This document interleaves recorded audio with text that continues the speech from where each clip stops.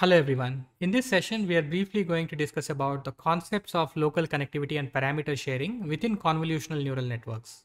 Earlier, we have understood about how the convolution operation is performed by making use of these filters or kernels. And the result of this particular convolution operation will be the feature maps as you are observing on the right hand side within this particular slide. Let's say that this is your input image data. And for filter, we are considering a square matrix, which typically is 3 by 3 in shape so the values for this particular filter could be minus 1, minus 2 and minus 1, 0, 0 and 0 for row number 2, 1, 2 and 1 for row number 3. So this filter is convoluted onto different localized regions within your input image data so as to extract the values pertinent to these feature map that you are looking on the right hand side. Since for this particular convolutional operation, all of these values or all of the pixel values that you are observing within the patch here are zeros so the weighted sum is also going to be a value of zero as you can observe in the highlighted region in the feature map here. Okay. So what exactly is local connectivity here? So images as we know has a spatial structure that is the nearby pixels are more closely related than the distant pixels.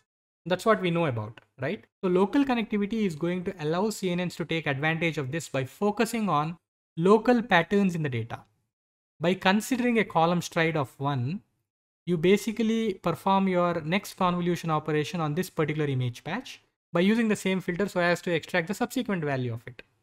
So this filter here is specialized in identifying the edges within a particular image, right? It's trying to identify the edges by moving this particular filter on different localized regions.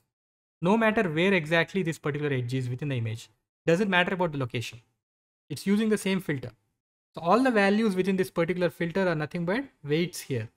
And there will be one bias term associated with every filter that you are having. Let's consider a particular hypothetical scenario where you are having your input image data, which is three dimensional in nature. This is your input image data. And of course, within your convolutional layer, you basically have 10 3D kernels. And the result of this particular convolution operation of all of these kernels is going to be 10 different feature maps.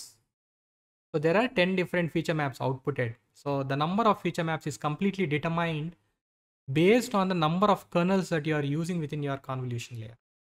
Every kernel, every kernel is got its own bias associated. So there are 10 biases.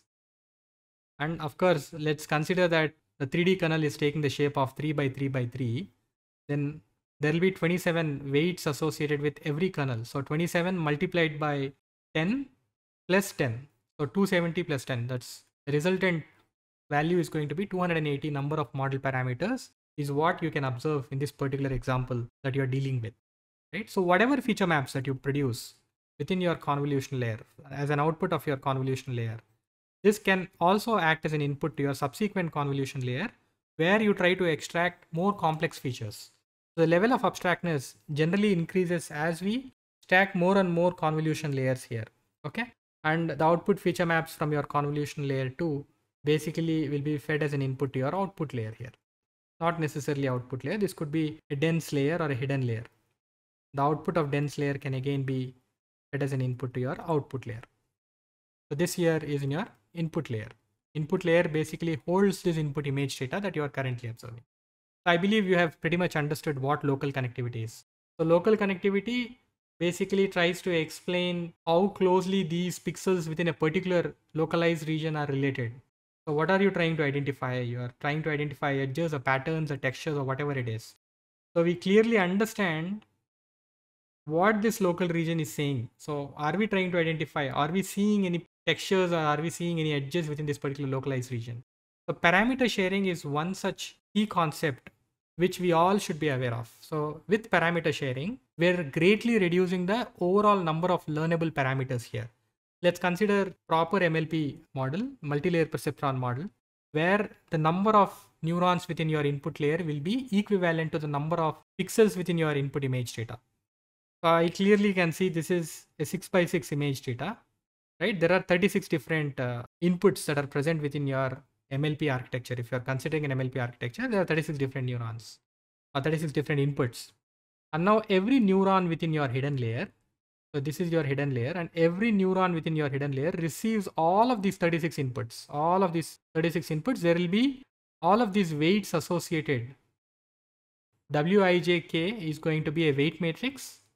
Obviously, we are going to observe 36 different weights and we are computing this weighted sum by considering all of these inputs in the previous layer, right? So at this particular value, whenever you are computing the z value, it's going to be W transpose X plus B. So essentially the number of weights that you are considering is exploding. Let's say that you are considering 28 by 28. So the number of learnable parameters, the number of weights here is going to truly explode. So in case of CNN, you need not do that. So you basically consider the same kernel or same filter. Just try to slide over different local regions within your image data. You are going to make use of the same filter, right? You are sharing this particular filter across the different localized regions within your image. So that's a true benefit that you're getting out of it. So the number of learnable parameters is greatly reduced in combination. So when you combine the local connectivity and parameter sharing, the convolutional neural network models are very effective, right? They are very effective in a way that CNN model tends to focus on spatially close relationships in the image through local connectivity, while the parameter sharing also ensures that the same filter is being used across the whole image. Together, the combined effect, it reduces the number of parameters and allows CNNs to detect patterns regardless of the location within the image. It doesn't matter let's say that it's trying to identify a particular pattern in this particular region of the image, right? Let's say that we are trying to identify edges by using this particular Sobel filter, right?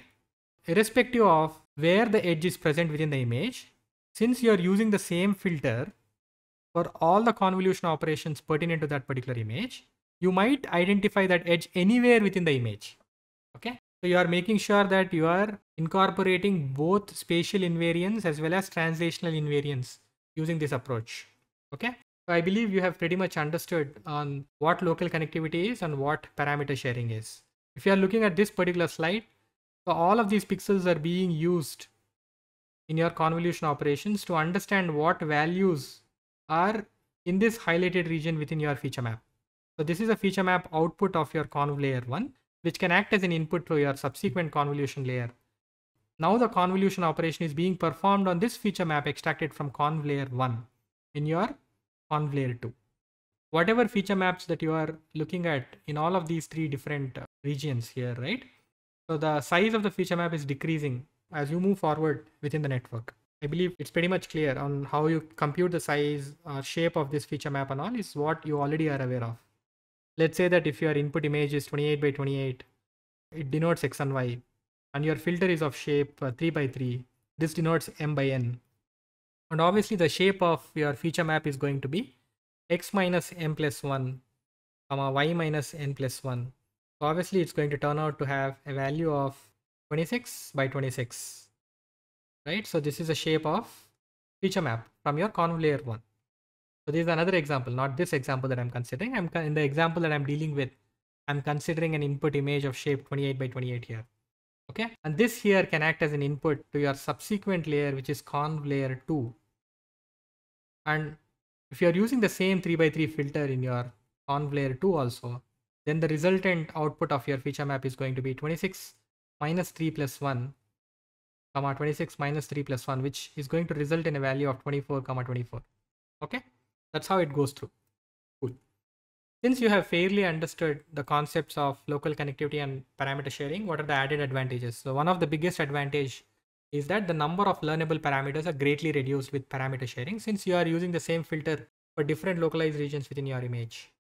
the combined effect of local connectivity and parameter sharing is going to help CNN greatly by not only understanding the close relationships within an image since we are convoluting on different local regions within the image, but it also helps in terms of parameter sharing that you are reusing the same filter again and again, no matter where you're trying to identify your edge.